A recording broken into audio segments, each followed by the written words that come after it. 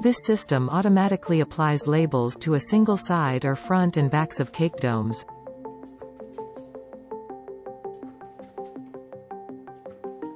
The products are detected, and then held and rotated in a product encapsulator for labeling.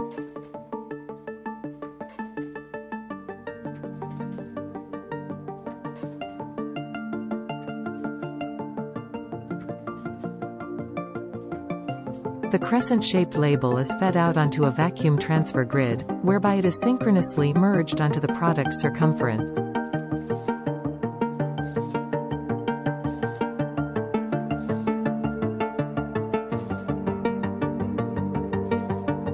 The system applies labels at 35 to 43 products per minute.